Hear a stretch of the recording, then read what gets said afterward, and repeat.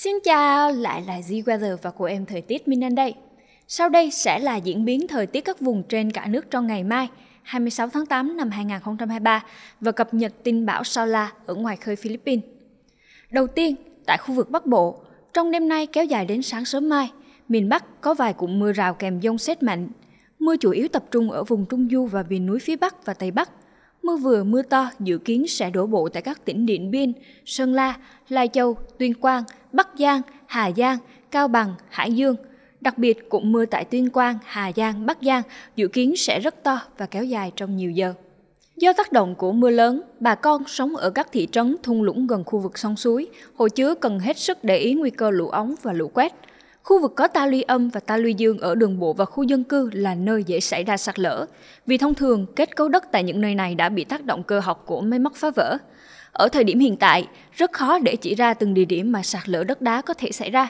Do đó chúng ta phải chủ động đánh giá rủi ro và nguy cơ sạt lở tại nơi mình đang sống. Nơi nào cứ mưa liên tục 7 ngày và sau đó bị bồi thêm một trận mưa lớn nữa thì nguy cơ sạt lở, lũ ống, lũ quét xảy ra là rất cao. Trong những ngày có mưa lớn, chúng ta cũng cần hạn chế đi qua các cầu tạm và các đập tràn, vì vào mùa mưa lũ, những khu vực thấp trũng đập tràn hay các cây cầu tạm bắc qua suối dễ xảy ra hiện tượng nước dâng cao, che mất lối đi. Do đó, việc bà con cùng các phương tiện đi qua những nơi này tiềm ẩn rất nhiều nguy hiểm, rủi ro có thể xảy ra bất cứ lúc nào. Đặc biệt vào ban đêm hoặc những ngày có mưa lớn, nước từ thượng nguồn đổ về tạo ra dòng chảy mạnh một cách bất ngờ. Cùng với đó tuyệt đối không được ra các khu vực sông suối để vớt củi gỗ đánh bắt tôm cá trong điều kiện dòng chảy mạnh, mưa không ngớt, nguy cơ lũ ống lũ quét từ thượng nguồn đổ về gây nguy hiểm là rất cao. Về diễn biến thời tiết, trong ngày mai, Bắc Bộ ngày nắng có nơi nắng nóng, mưa rải rác ở một vài nơi, chủ yếu là mưa nhỏ mưa vừa. Dự kiến vào ngày kia 27 tháng 8 có mưa rào và dông, ngày nắng, có nơi nắng nóng, riêng vùng núi mưa rào và dông rải rác. Từ khoảng đêm 27 đến ngày 28 tháng 8 có khả năng có mưa vừa và dông, cục bộ có mưa to. Tại khu vực Trung Bộ trong ngày mai, miền Trung vẫn có nắng nóng. Các tỉnh từ Nghệ An đến Bình Định nắng nóng gai gắt với mức nhiệt cao nhất phổ biến từ 35 đến 37 độ, có nơi cao hơn. Buổi sáng toàn miền oi nóng trời quang mây, sang đến chiều có mưa rải rác, tập trung chủ yếu tại khu vực các tỉnh Đà Nẵng, Quảng Nam, Quảng Ngãi, Phú Yên, Ninh Thuận. Dự kiến nắng nóng ở Trung Bộ có khả năng kéo dài đến ngày 27, 28 tháng 8. Trước ảnh hưởng của nắng nóng kết hợp với độ ẩm trong không khí giảm thấp, nguy cơ chập cháy tại các khu dân cư do quá tải điện và nguy cơ cháy rừng sẽ tăng cao. Do đó chúng ta nên hạn chế sử dụng quá nhiều thiết bị điện công suất lớn cùng một lúc và lưu ý rút nguồn các thiết bị điện khi không sử dụng. Đáng chú ý, nhiệt độ dự báo trong các bản tin nắng nóng và nhiệt độ cảm nhận thực tế ngoài trời có thể chênh lệch từ 2 đến 4 độ, tùy vào các điều kiện mặt đệm như là bê tông, đường nhựa.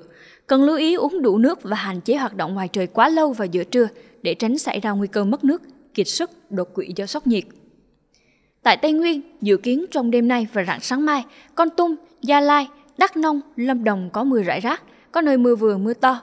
Ban ngày có nắng gián đoạn, nhiệt độ cao nhất dự kiến dao động chủ yếu từ 27 đến 29 độ, có nơi cao hơn.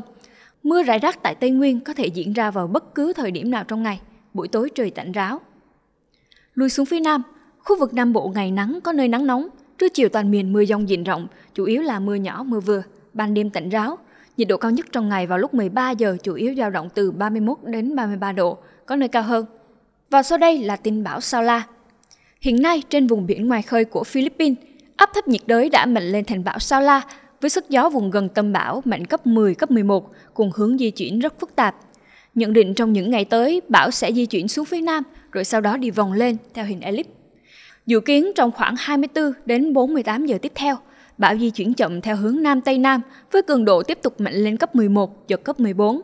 Bão Sao La sẽ liên tục mạnh lên và có thể đạt cấp 14, giật cấp 17 vào ngày 29 tháng 8. Do ảnh hưởng của El Nino, từ nửa cuối tháng 8 đến tháng 11 năm 2023, trên Biển Đông khả năng xuất hiện 5 đến 7 cơn bão hoặc áp thấp nhiệt đới, trong đó có khoảng 2 đến 3 cơn ảnh hưởng trực tiếp tới đất liền nước ta. Đề phòng những cơn bão có thể có diễn biến phức tạp về quỹ đạo cũng như cường độ. Bản tin của chúng tôi ngày hôm nay xin được khép lại tại đây. Đừng quên để lại một like, một subscribe để ủng hộ ekip của Z Weather nha. Cảm ơn các bạn đã dành thời gian theo dõi. Xin chào và hẹn gặp lại.